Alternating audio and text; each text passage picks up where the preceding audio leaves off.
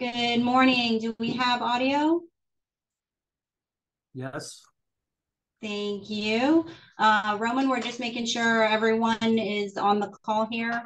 Um, and we'll get started in just 30 seconds. Okay. Do you have um, the mayor? Yep. Can you promote her to be able to talk? Yep. Yep. We sure do. So this is a little different than when we do the emergency calls, right? Uh, yes, Alan had asked us to use, we're using the same format uh, via Zoom as we do for the BOCC meetings. Okay. You guys, So, yeah, there she yep, is. so.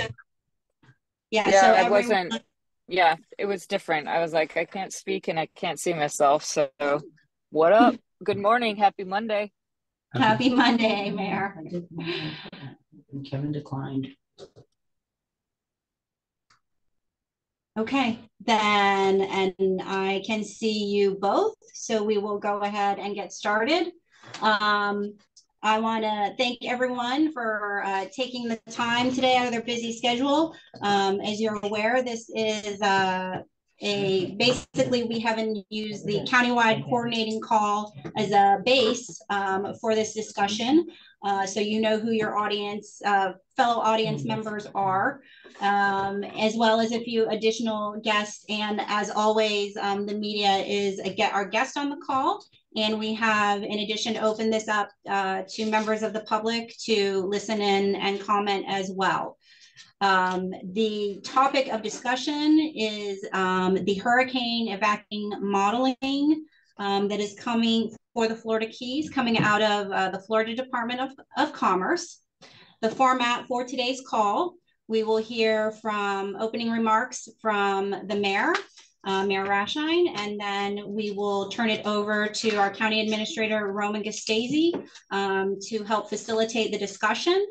Uh, and um, when that time comes, if you just uh, will raise your hand, um, we can promote you and um, you will be able to uh, ask questions and discuss um, to your heart's desire, right? so with that, we'll get started and I'll turn it over to Mayor Raschein. Thank you, Shannon, so much for getting everybody together and to Roman and his team. I know this um, is uh, going to be probably a high level call. We're going, going to hear from different entities, uh, a few initial thoughts and things like that, but we will need to regroup on this probably a, a few more times before um, you know we send messages back to the state and so on and so forth. So as you mentioned, uh, today's call is to kind of get everybody on the same page regarding the Department of Commerce's uh, recent update. I don't know if anybody had the chance to call into the webinars. I did call into one of them on our hurricane evacuation model, and I think the second one was relatively the same. The presentation was the same. Maybe there were some additional questions from our community stakeholders. So thank you for all of those who have attended and uh, and asking some really good questions. So basically, the three three overarching goals are public safety, uh, ensuring safe and timely evacuation of visitors and residents in the event of an emergency, quality of life, of, course, very important. Uh, we want to promote balanced growth, workforce housing, assurance that development is supported by it's very important required infrastructure and obviously a sound economic base. And then lastly, and uh, I think equally important, is our environmental protection, um, protecting our natural beauty, and of course, the many, many uh, ecosystems that reside, live, um, are, are awesome in the Florida Keys. So those are kind of the three tenets that we want to look at as we move forward with this. And uh, again, thank you all so much. I know we'll probably have uh, a minute for some closing comments, but I do ask that participants keep uh, their questions really targeted, really tailored. Again, this is a, an initial high level call, probably uh, not the only one that we'll be having. So with that, I will turn it over to our esteemed County Administrator, Mr. Roman Gastesi. Uh, thank you, Mayor, and good morning to everybody and happy holidays to everybody. Um, Yes, and you see Bob, uh, our county attorney, is uh, also promoted. He's going to be speaking also, and Emily, our um, our planning director. Uh, we're going to kind of ham and egg it, I like to call it, as staff. But I'll kick it off. I like to call this a community conversation, and this is an issue that affects us all, of course. And uh, let's face it, it could be a very sticky issue. Um, so we need to have a, a, community conversation on this. And the bottom line is uh, how many uh, uh, additional building permit allocations will be distributed throughout the Keys in the next 10 or 20 years. Um, right now, the range is zero to 7,954. That's how many lots are still available in the Keys. So that would be giving one to each lot. Uh, we need to find that sweet spot between uh, stated goals that the, the mayor said of quality of life and environmental protection. I use a term called knowledge calibration, and that's what we're trying to do here today. Make sure that we're all at least knowledgeable of what what the what the process is and where we are. Um, and I like to I need to understand the, the the why, the what, and the how of this issue. And the why, um, as the mayor mentioned, is that that public safety, quality of life, environmental protection. The what is can we find a sweet spot between the two, or are we going to be on one end or the other? Um, that's the what. That's what the final outcome sometime here in the near future. And then the how, um, the Florida Department of uh, Commerce has been mentioned recently ran six scenarios, and they want to know what our preferred scenario is uh, as far as the county and the community. Uh, now we can do this collectively as a unified community and find that sweet spot uh, we can individually send comments up uh, and preferred alternatives to the state, and they'll find it for us and they'll choose for us. So that's where we're at. My understanding is that the state uh, is going to, the Department of Commerce is going to be sending the modeling results to uh, both the legislature uh, and the Administration Commission, which is the governor and cabinet, in January uh, during the legislative session. Um, I'll stop there. Bob, did I miss anything or Emily as far as before we start talking about the, the actual um, scenarios as far as the process? I would just, as a preliminary matter, just mention that while this is a public meeting, it's not a noticed public meeting, which is, complies with all uh, aspects of the Sunshine Law. So if any um, of the electeds are going to speak, I would recommend highly that it only be one elected per jurisdiction, just to be compliant with the Sunshine Law. Great. Thanks, Bob. And I see that Emily brought up the clearance time summary. Um, this is what it's all about. You see the, the six scenarios on the left. Um, the baseline scenario is always one, and then you have five that they actually ran. Um, I hope you can all see the cursor. Thank you, Emily. Uh, my Vanna White here today. Um, and then the, across the top, there's four columns. Uh, and two include the Key West and two do not include Key West. And let's have that conversation right away. I think we should exclude the the two that exclude Key West and get rid of those two columns right away because it just doesn't make sense. Uh, Bob, help me out again. We think that that and the mobile homes issue could be solved legislatively quite simply. Maybe simply is a bad word, but it could be solved legislatively. That way we don't have to deal with those scenarios.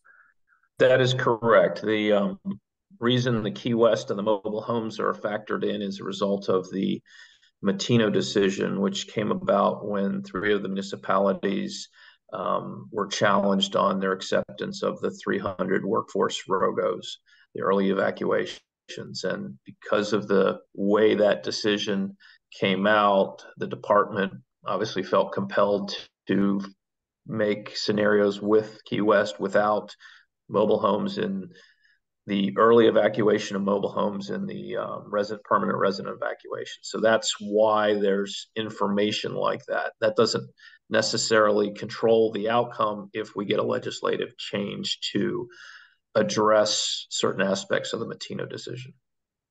But but we're confident that we can just narrow it down to the one column, correct? Oh yeah, I mean you, you, they've asked us for our input, and I think we should give input that makes the most sense operationally, uh, public safety wise. And so that would be including Key West as we have always modeled and modeling the mobile home, homes because they're more vulnerable structures to evacuate earlier.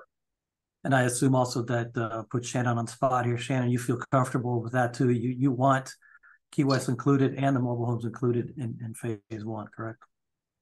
That is correct. Um, from an operational standpoint and standpoint and decision making, uh, that is the most the you know the most true, the most comprehensive, um, and the most efficient way. You know, we need to plan when we evacuate this county. Right. So that narrows it down to the one, which is the second column, uh, makes it the conversation simpler. And let's talk about phase one and phase two, just again for knowledge calibration purposes, that everybody knows and understands what that is. And Shannon, help me out if I missed something. Uh, phase one is 48 hours, and that's visitors, uh, campers, people staying at the parks, national parks, the, the, the state parks, and so forth, and of course mobile homes.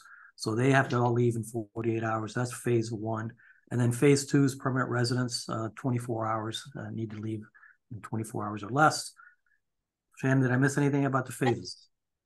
Nope, you got it. You're correct. Okay. So phase one, we really don't have to talk about much because I think all the all the alternatives uh, meet and they're okay. They check that box, so we can fit. We can just focus on the 24 hours, and you can see that the baseline modeling uh, meets that goal. That means no more allocations, no more building permits throughout the keys, and it sits right at 24 hours. Then there's three scenarios, one, two, and three are the same number of allocations, 3,550. That's a magic number that came from 10 years ago when, which you can see S3 there, how was distributed. The only difference in these, in these three alternatives is that how they're distributed. S3, scenario three, would be using the same distribution that we did 10 years ago. And you can see the number breakdown there. Uh, phase S1 would be based on population size, and then S2 would be based on the vacant lands, percentage of vacant land. S4 is a, what they call the minimal allocations, which is 11 allocations per year throughout the, keys. And you can see the breakdown there. Monroe County would get five, Marathon, Islamorada, and Key West would get two, which Key West is be only for affordable housing. And then S5 is giving a building permit to each available um, uh, lot that's available now, a vacant lot, which there's 7,954 lots. So each lot would get an allocation. So that's that's the six phases, uh, excuse me, the six scenarios that have been run so far. We talked to the state a few times about this, and they are willing to run more modeling scenarios. So if, if somebody has an idea, I'm not sure of the process for any other folks, but for us in the, in the government world, we would just make that request uh, and they would run an additional uh, scenario if needed. So we will be talking about that with the county commission next month, which leads to, to my next steps. Um, we, we all need to get together with our respective policy making boards. In my case, and Bob and Emily's, of course, that's the county commission. Our next meeting is December 13th.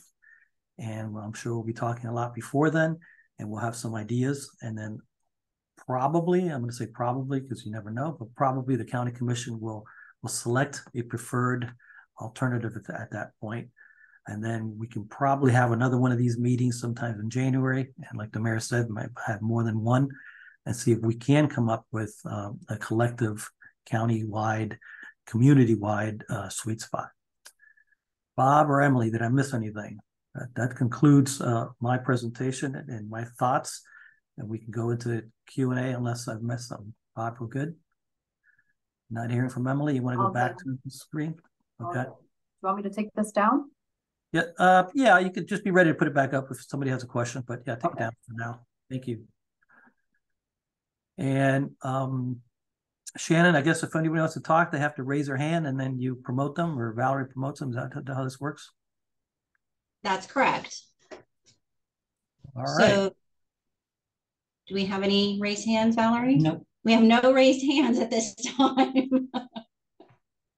Well, Bob did, did such a good job in the presentation. Emily, yeah. you, gonna take, you gonna take this thing down, Emily? Trying. I can't figure out. I do this every day. I'll get it down eventually. Give me a minute. Okay. All right, we're, get, we're, we're, we're starting to get some raised hands. And okay, good. I think everybody's trying to uh, comprehend and, and take into account everything that you just shared with them. So give them a second, maybe. Sure. Ann Olson. Okay, we have uh, first hand raised is Ann Olson. Good morning. Good morning. Can you hear me okay? Yes? Okay. Are, are we going to have one opportunity to speak or multiple if we have other questions as we have this interaction conversation? You mean today? Yes. Sure. No, we can keep. We this is interactive. This is a community conversation, and so Okay. I didn't want to hit you with all my questions at once then. Um, one thing I'm really struggling to understand with the modeling is that if 10 years ago, back in 2012, um, the model numbers for phase two were actually 26 and a half hours. And since that time, and that was discovered in the um, the Rogo challenge, the Matino discovery re referenced earlier. Um, if the time frame then was 26 and a half hours, and since that time we've built 3,500 plus more building allocations, our population has increased on the census. And well, in, in, one of the models, mobile homes were included, but without them, we dropped from 26 and a half hours down to 24 with all those increases. How could that be possible? Uh, I'm not the modeler. I'm going to get myself in trouble trying to answer that, but um, I think that's a better. Uh, it's, a, question that, that goes to the state and the modeling folks. But I think it has to do with the the demographics have changed, and there's a lot more second homeowners and that allows more of a throughput. Um, but again, that's just this was a county administrator trying to be a modeler for a minute here, but it has something to do with that, and definitely you should ask them if you haven't already. Um, the state is not on the call, so they, they're not here to answer right. We, we did ask, but they didn't answer that um, very directly. I, I I'm just thinking from a common sense standpoint that does not make a lot of sense that the numbers went down, even if they're now um, second homeowners it that the 2012 model really ignores the proliferation of, of um, uh, vacation rentals and how many of those houses, yes, on the census are empty on April 1st, but um, are now chock full throughout the summer and the uh, hurricane season with vacationers um, who don't know our rules, don't know when to evacuate, and so forth. So I, I think these this data is rather skewed um, in terms of reality that's why we're having these these calls. I think I think it's important for you to understand that, for for me to understand that. But you know, I've been here now 15 years. Thank God, every day's a record. Kind of commissioners, thank you. Um, when I started, it was 38% second homeowners. When it was Hurricane Irma, it was about 48% second homeowners.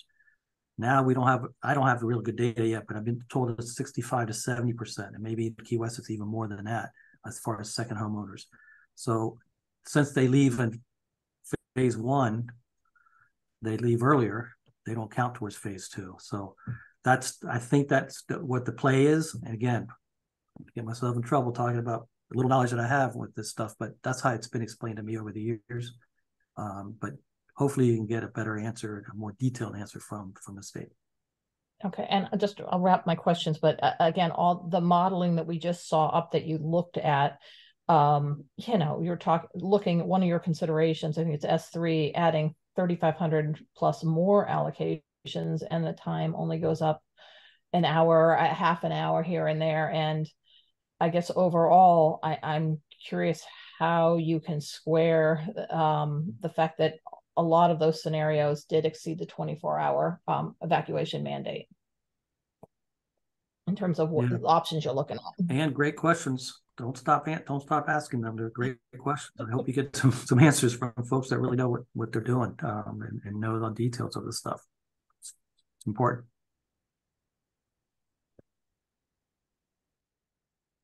Roman, we have next Roman, we have uh, Todd Stoughton with the City of Key West. Go ahead, oh, Todd. Oh boy, this is gonna be a tough question. it, it's not a tough question. It's what's your favorite side with the turkey? No. uh, my only question, I would have put this in chat, but it was disabled. Uh, your commission meeting, uh, your county commission meeting is the 13th. Ours is the 14th. Not sure that we're going to get this. Um, uh, you know, I'm sure that our commission is probably going to want to hear what your commission does. What's the timelines for us collectively or individually getting this to the state? Uh, good question. Uh, we what the state told us is that, like I, I said in my opening remarks, they're going to give this information to both legislature and in the um, administration commission. So the decision looks like it's going to be made during the session. I think uh, as far as the, the, tweaks for sure, as far as keeping including you all to, to Key West and uh, in the model and the uh, the mobile homes. So I suspect, and I don't know, Bob, if you got any more, but they they didn't give us a, a like a hard date. You know, they didn't say by January fifteenth you have to have your comments and anything like that. So that's my understanding as right now. And since session starts what January eighth, right?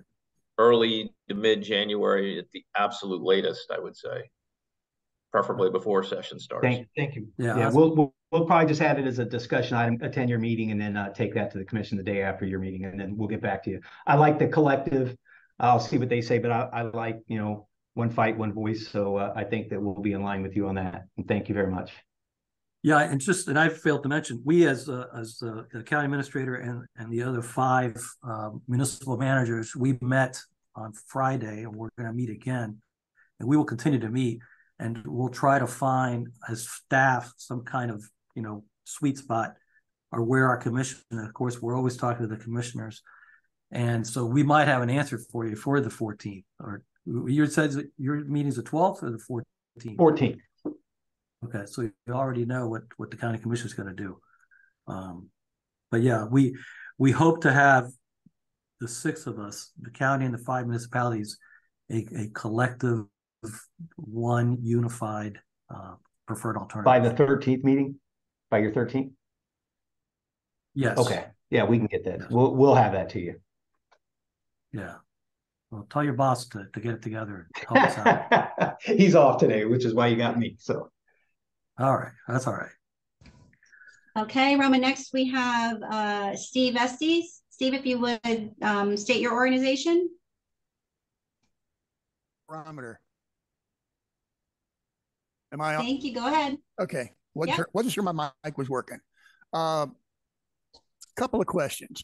The scenarios presented to us, none of them, other than the baseline model, said to leave things as they are. Um, the other five scenarios are all let's exceed the 24 hour mandate.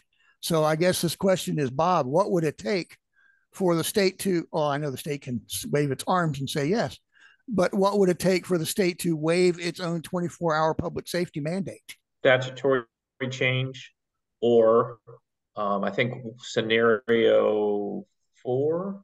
Scenario four in the middle. Um, yeah the middle one had a very limited number of allocations that kept us at 24 hours if the mobile homes are modeled in phase one, as we have been doing in the past. Okay.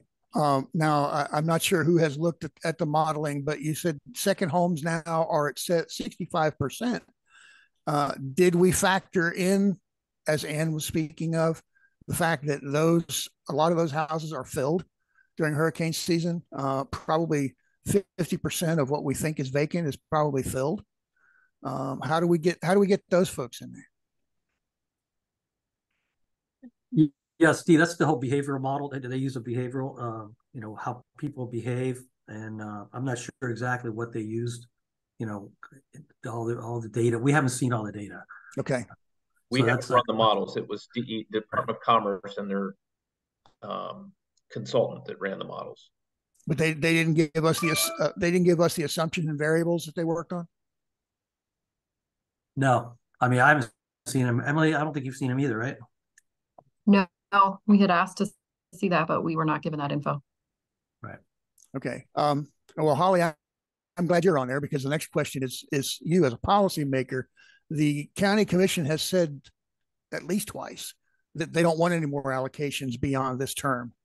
Uh, but yet we most of the scenarios we get, other than one, give us extra allocations. So, your opinion on that, if you have one?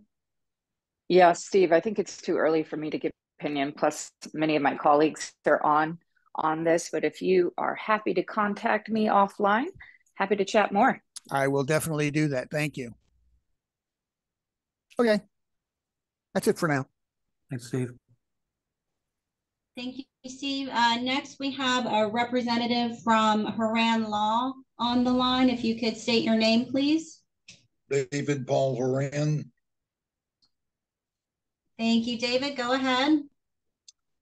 Um, that I won't make it long, but let me let me tell you that I am now looking at kind of deja vu. Um, years ago, I told one of my uh, closest friends, David Rice, that by going along with what DCA or now whatever they call it, uh, for Monroe County to control its population growth um, would would be a check that our grandchildren couldn't cash. I was wrong. I don't think our great great grandchildren would be able to cash that check. Um, he told me then, he said, you know, Tallahassee will stand behind us uh, because uh, we certainly couldn't afford that. And uh, and I said, no, Tallahassee's going to turn around and tell you, well, gee whiz, we can't ever make Monroe County pass local legislation that would violate the Constitution. That's that we can't do that. Okay, so that's where right now, that's where we are, because I do believe that those 18 words in the Fifth Amendment to the Constitution that says that no private property shall be taken for public purposes without due process of law and just compensation paid. It includes temporary takings. There's case law in the Supreme Court, temporary takings. Now, if you can tell me how people that continue to pay ad valorem taxes on property are not suffering a temporary taking, then then then have at it because I don't think you can. I don't think there's a shortcut around the Fifth Amendment. And I believe that what we're talking about right now is something that uh, ultimately will end up before the courts. And the courts are going to rule that if you deny somebody the right to use the property that they've been paying taxes on, that kind of an unwritten caveat of why we pay taxes is to make sure that y'all, the county commission and everybody will protect our right to uh, to use our property. That's it. Now, I don't think that I don't think that's going to I don't think that's going to uh, go over well. I do believe that what we're talking about right now is the central question is is there a shortcut around the Fifth Amendment. I didn't believe that there was then. I don't believe that there is now. And um, and and so I believe that we've got to address the issue, and the only way to address that issue is to figure out. And I and and Jim Hendrick and I, by the way, we were we were good friends. Uh, one of the smartest men I've ever met in my life. But uh, but where the issue is going to be um, how do you pay even for temporary takings, much less for the full blown taking. And we're talking about full blown takings, by the way. We're talking about telling people that have been paying taxes for years and years, I'm sorry, you can't use your property. And then uh, we're going to have to compensate them for what for what their their property's worth. And uh, I'm I'm I certainly understand all this about uh, hurricane evacuation and everything. That was that was something that uh, Jim and I talked about numerous times. That, he, he he had a he had that was a real interesting part of our conversations is that hurricane evacuation. Hurricane evacuation was it would certainly be cured by four laning all of US one, four laning the entire thing uh, number two, um, passing legislation that, that gives you an incentive to combine lots. We do that now. Those are the kind of things that will take care of some of it, but y'all better start looking for a source of uh, of funding because uh, ultimately um, the the Constitution is going to rule and um, and just compensation will have to be paid. So I'll get off my soapbox now, but that's that that I think is exactly the conversa- the conversation I had with David Rice over 20 years ago, and uh, And, and I think that it, that is being borne out now. Thank you. Thank you, David. Bob, you compelled to answer anything? Well, it's all being taken into consideration. You saw the different scenarios. There's only one that has no more allocations. Um, if there are allocations to grant, there is not an immediate taking. Um, so as long as there is a chance under the Penn Central analysis, there is no taking. I'd also point out that many of the lots, the tier one lots, the ones that have been deemed environmentally sensitive, effectively don't pay any taxes because the tax collector doesn't send a bill to anybody less than a nominal rate. And I think that's in the 250, 300 range owed. So um, all 7,900 lots do not get a property tax bill. Right. Thanks, Bob. Shannon, we have any others? We do have a, a few more. Uh, next, we have Daniel Samess. Daniel, if you'll go ahead and state your organization. Sure. Hey, everyone. Daniel Samess, Greater Marathon Chamber of Commerce. You guys hear me okay? Yes. All right. Hey, Rome. Um, oh, and uh, to start, the dark meat of the turkey is the best. Um, more importantly, I guess my questions, guys and, and ladies, would be um, regarding the allocations. It, will it be up to the municipalities and then, of course, the county on how they are, I guess, uh, labeled? Will they be um, market rate and or workforce, affordable housing, deed restricted? Um, how will, will that be handled? Will it be again individually based on the municipality and or the county? or will the state tell us? Um, and then secondly, after that, yeah, after that question, infrastructure, because it's kind of, you know, uh, there's a number of pieces to the puzzle and it's a bit of a tight timeline, it sounds like. Um, as Bob mentioned, moving into legislature in January. Uh, obviously, if we do move move forward with adding more allocations, it, it puts more pressure on our infrastructure, not only roads, um, sewer, stormwater, wastewater, all that good stuff. Will that be worked into this process, obviously, as a lot of the cities um, may need to uh, improve that their infrastructure and will require substantial investment for. Thank you. Uh, Daniel, all that's being considered. We're talking about all that, and I'm sure the county commission you know, want to hear from the various entities that are involved in, in the utilities and and uh, before they make their decisions. It's you're right. All that is is very important to consider before we come up with a preferred alternative. Uh, uh, or anybody else on staff want to add anything? I would say it's probably too soon to tell whether there's going to be a mandate from the state, you know, in terms of workforce versus market rate, affordable.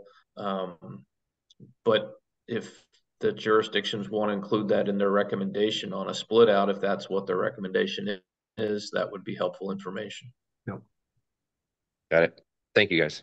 Thanks, Daniel. Good to hear your voice. Happy holidays. Okay, Roman, uh, we just have four more. We have a gentleman um, by the name of Brian on the line. Brian, if you're there, can you state your first and last name and the organization you represent? Sure. Uh, Brian Schmitt, Coldwell Banker Schmitt Real Estate. You guys hear me okay? Yes. Yep. So um, Daniel just asked some of the questions that uh, I was uh, most interested in. But the only option here, it seems like, is forwarding these allocations over a 10-year horizon. Uh, ROGO, as it as it recently expired, was over a much longer horizon. Is there so unless we issue all the allocations or the state issues all the allocations for build out in this next 10-year period, this discussion, I assume, will happen again in another 10 years because as the taking issue is never is not going to go away until uh, well probably will never go away but um, is there an option for a longer horizon um, in the legislature legislation which would um, hopefully allow local government to i don't i don't I, I think it would be impossible for local government to to get the infrastructure in place uh, to award all these allocations over a 10-year horizon. It would be impossible, I believe. Yeah, thanks, Brian. Great question. And I think just by, I think the, the quick answer is yes, because the state already gave us a 20-year option with the uh, scenario four, of the minimal. So if they're if they're already running that scenario, I'm assuming that's we can we can ask for for that too. So um, I don't know, Bob, did, does that make any sense? Or Emily, right? Yeah. So the answer is yes. If we want to do it a longer horizon and not have to do this every 10 years, we can, and if that's what we want to do again, collectively unified, that's, I think that would be uh, something that the state would, would recognize and would reconsider. Thanks, Roman. Thank you, Brian. Thank you, Brian. Um, next, we have Robert Gold. If you could state your name and your the organization you're representing, Robert. Good morning. Thank you. Um, my name is Robert Gold. Um, I live in Key West. I am a member of the board of Last Stand. But to be clear, I am speaking on, by, on behalf of myself as a concerned citizen. At Last Stand, we're very careful to coordinate our public statements. And what I'm about to ask does not necessarily represent the position of Last Stand. I have three questions. I think each of them can be um, answered uh, simply. Um, and rather than ask all three in sequence, I'd rather ask each one um, and then wait for the answer and continue. Um, my first question, can you please confirm the um, process by which allocations happen? My understanding is that the state legislature will make a decision about if and how many allocations will be awarded as a result of this process. And perhaps I'm wrong. I see Mr. Shillinger um, uh, ready to comment on this. Um, but my question really is once that is done, and assuming some number comes from the state, are the local entities, the, the county for the unincorporated areas and the municipalities, are they under any obligation to issue permits? All right, let me answer that. The reason I was shaking my head, the start with the premise. The state's legislature sets the evacuation number, the the time period. They've done that by statute. Um, the actual distribution and award of allocations has come from an entity known as the State Administration Commission. That's the governor and his cabinet. They sit in various different functions, the parole board, the pension board, things like that. And one of them is called the Administration Commission. And in that capacity, they issue an administrative rule that dictates the number of allocations awarded to each jurisdiction. So it all comes from the state, but it's a separation of powers issue. So this, the legislature sets the time frame, and then it's implemented by the administration commission. Um, once those allocations are uh, awarded to a jurisdiction, city or one of the cities or the county, um, the the local government can control the rate of distribution. So in the county, for example, in the past, we were given um, we were giving out 126 market rate allocations a year, and we voluntarily reduced the rate of flow of that in half to was it, roughly 60 some um, each year to stretch ours out over time to give our uh, land purchasing partners uh, more opportunity to buy up some vacant land and retire some development rights. So it would be up to the jurisdiction if it wanted to to reduce the flow of those allocations once awarded from the state. Now, remember, getting back to an earlier part of the discussion, there is takings liability if there is no chance whatsoever to develop. So there's a, a balance to be struck there. So they, if a jurisdiction were to take them and then hold them and not give them out, they might face some financial liability. Thank you. I appreciate uh, the detail in your answer, um, and I think I understand it. So once the municipalities or the jurisdictions have um, the ability to issue permits, it will be the result of a political process, essentially pressure from the community versus pressure from the developers that may result in how many allocations are issued. Is that a fair representation of what would happen next? Yes. Okay. I mean, we, you know, second... part of their their development, uh, land development code and stuff like that. But yeah, that yeah. those are the those are the two forcing pressures. My second question is, I think it's very brief, but my understanding is that the model does not include any consideration for the availability of gasoline at filling stations during a uh, a a required evacuation. What we've seen in recent times is uh, Monroe County is especially vulnerable to gasoline supply. And if we have a forced evacuation or mandatory evacuation of the entire county, I'm assuming that gas stations will run out of gas and the cars will um, stall on the road because they're trying to make it to that last gas station. And I have heard no evidence of that being factored into the model. Does anyone have any insight about gasoline supply with respect to the evacuation model? I don't, but I know I'm looking at their presentation. It's uh, Mr. Gold. If, did you see the webinar? Did, did? Yes. Okay. And since you're part of Last Stand, I'm sure Ann, you know, she she had all the slides, which was great. Thank you again, Ann, for doing that because she sent them to me. So I'm looking at the one slide on page uh, 15, and they go through the different overview of what they used, what the variables were used. And I don't know if there, there's some variables in here that might include gas stations, but I don't know the details. Again, we haven't seen the data. But again, that's what that'd be a good question for the state because yeah, they have, the problem is that, uh, and you know, if you can express this on our behalf, the state made it very difficult to ask questions. You had to submit the questions in advance. Um, there was no real time question and answer. The answers that they gave, there was no opportunity for recourse or you know follow up question. Um, it was uh, the barest minimum of a public process. My last question really has to do with takings. Um, and I understand the 18 words in the Constitution, but I also understand um, the reality of the decisions that people make when they purchase property in Monroe County. If somebody purchased a property in Monroe after the institution of BPAS ROGO system, they were accepting a known risk that they would not be able to build on their property. So my statement really is, how can anyone be concerned about a takings lawsuit if in fact the person who is bringing the lawsuit purchased the property after uh, Rogo Pass was instituted. My question is, of the nearly 8,000 properties, do we know what share of them have been purchased, had been purchased, and are still owned by individuals before BPAS Rogo? And how many of them were purchased with full knowledge that building would not be possible?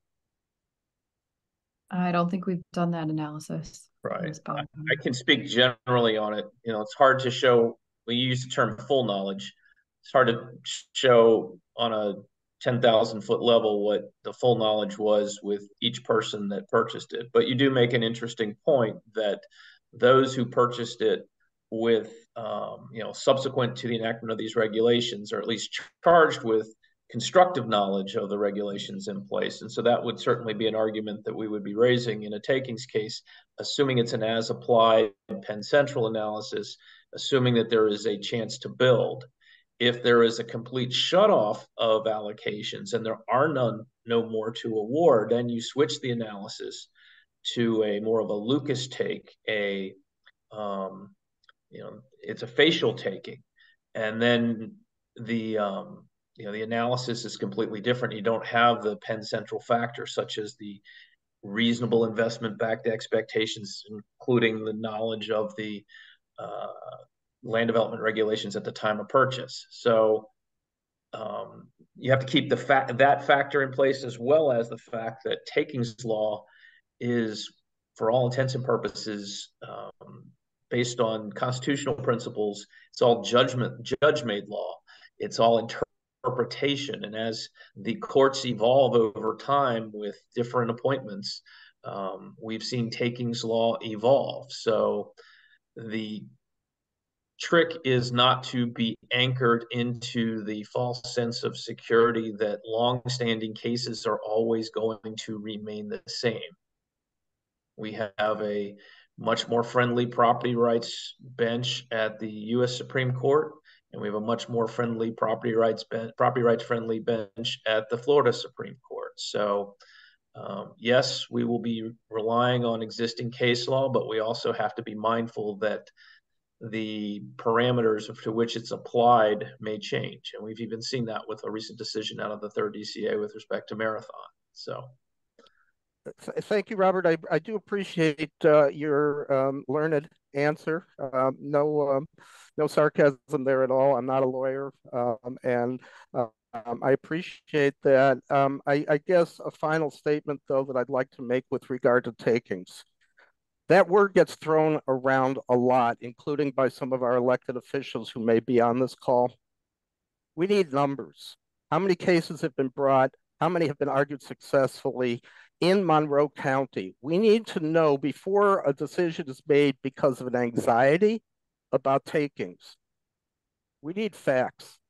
What is the reality of takings versus the mythology of takings? And I would charge uh, the county administrator and the county attorney to provide us with the real information about that before we start using the specter of takings to inform a political decision. Um, and once again, I thank you for the opportunity to speak this morning. Thank you, Robert. And thanks for calling me learned. I think that's the first time ever. Great. Now he's going to My go to his mother head. would be happy. Kid from Bob. Okay. we have one more speaker, and it is Al Childress from the city of Key West. Go ahead, Al. Oh boy, this is a tough one. Unmute. Hey, good morning, gentlemen. Can you hear me? Yes, we can. How you doing, Al? Uh, good morning. Thank you very much uh, for this opportunity and putting this all together. And, and Roman, thank you for putting the uh, meeting together on Friday with all the uh, uh, city managers throughout the county. I think, uh, as you said, I think it's important that in, in any issue that you're dealing with the state that we speak as as with one voice.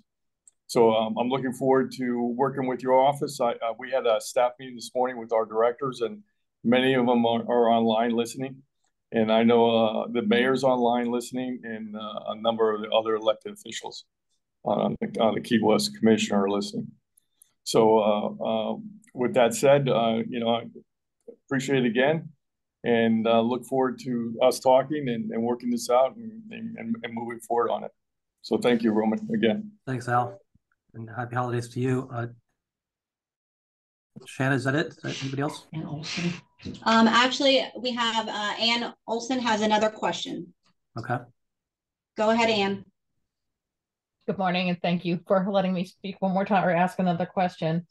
Um, because there are so many county and city officials on the line, I just wanted to um, sort of reiterate a point that we we continue to make in writing, but uh, I, I I'm saying this, uh, you know, and on one hand on behalf of Last Stand, but I am speaking as an individual, as Bob was or Robert a moment ago.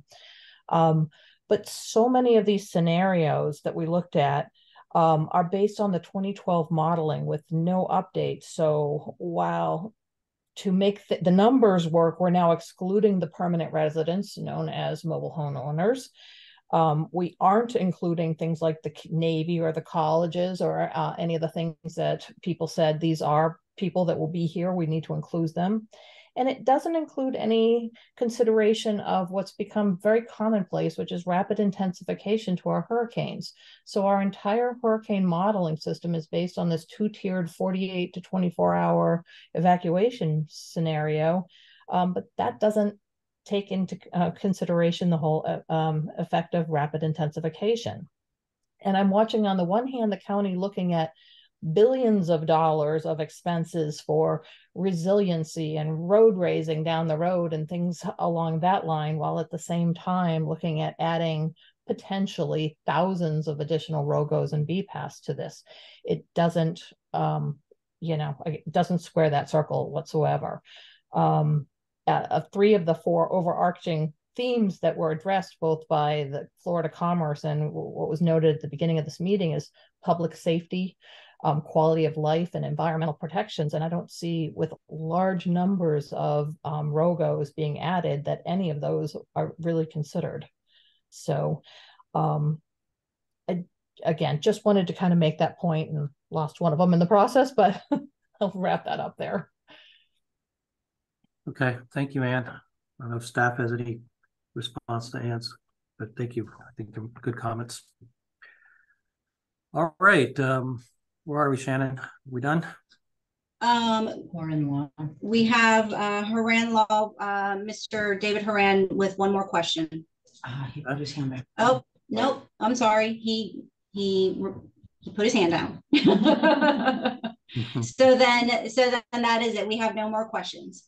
No more hands raised. Mary, you want to parting remarks?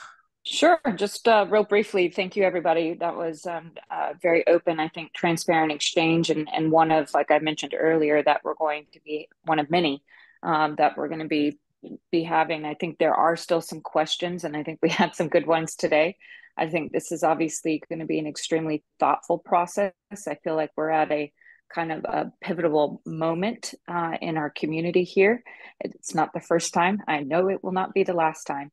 And I, uh, I know through Roman's leadership, Shannon helping guide him through this whole uh, process, we're, we're to come out and I, I think a, you know, a, a solution, we're to come out with a solution, hopefully um, that will work for everybody. I know that's might be pie in the sky, it seems right now, but uh, we do have a quick timeline that's a little concerning to me.